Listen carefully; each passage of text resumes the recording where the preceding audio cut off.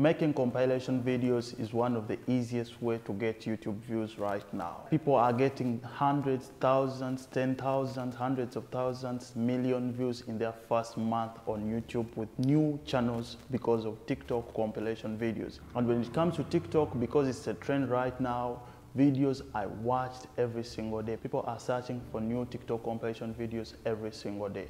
But the problem comes when you want to monetize your compilation channel. That's when channels die. That's when people give up because they can't make money with reused content. YouTube will tell you that because this is reused content, we shall not put ads on your YouTube videos, so your channel will not make money out of the YouTube Partnership Program. In this video today, I want to show you the easiest way that you can make money out of your YouTube compilation channel by joining the YPP program or the YouTube Partnership Program where you're going to place ads on your videos and you're going to make money out of those ads. Let's start. The biggest reason why YouTube doesn't accept put advertisements on your YouTube videos is because you download TikTok videos and just add them together and upload them to YouTube and make a compilation video. So that's reused content. You've just downloaded someone's content and you put out on YouTube without adding any value. Some of you just go and add some thumbnails and put a title TikTok compilation videos 2020 or something like that and then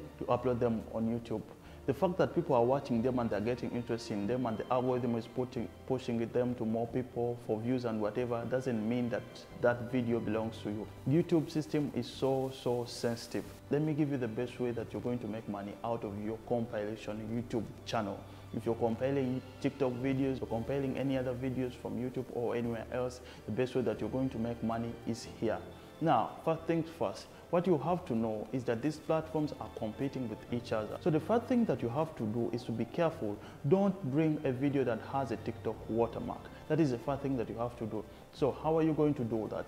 Go to TikTok, copy the link of the videos that you want to do. You can copy like 10 or 20 videos that you want to put in the compilation, put them together somewhere in your email on your computer. Copy them one by one and put them in a list on your computer. And then go to this website.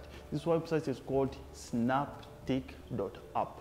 That website is where you are going to be able to download TikTok videos without watermark. Now, the second step is here. The fair use policy allows you to use up to almost one minute of each video, but the best way you can do it is use around 15 seconds of that video. You are going to get those short 15 seconds videos from TikTok, 30 seconds videos from TikTok, and you're going to bring them to yourself.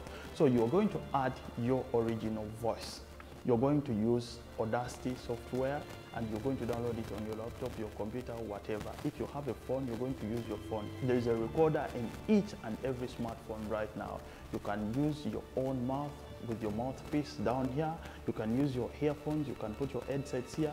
You can buy a microphone that is as low as $5 like Boya BYM1 is as low as $10. So you can afford that microphone. So what you're going to do is that at every beginning of one video that you're going to, up, to add in the compilation, speak something for at least five seconds. Introduce that video for at least five seconds. The other thing that you're going to do, add some graphic content, maybe your YouTube channel's name, add a new background, white or yellow or blue or something, the background that is going to identify your channel from other channels, from other compilation videos. Now, the reason for adding this voiceover, the voice that you're going to add to these compilation videos is making it valuable, showing that you've added value, that you're adding original commentary to those videos. You're introducing the video, you're telling us the reason as why we should watch that video. It is as simple as that. There's no any other thing. You should add original voiceovers to the video so that you own those videos. You've added values to those videos so you can be protected by the fair use policy. Like my video, comment down below, share it with your friends and subscribe to my YouTube channel. My name is Shammah Benefit. See you in the next one.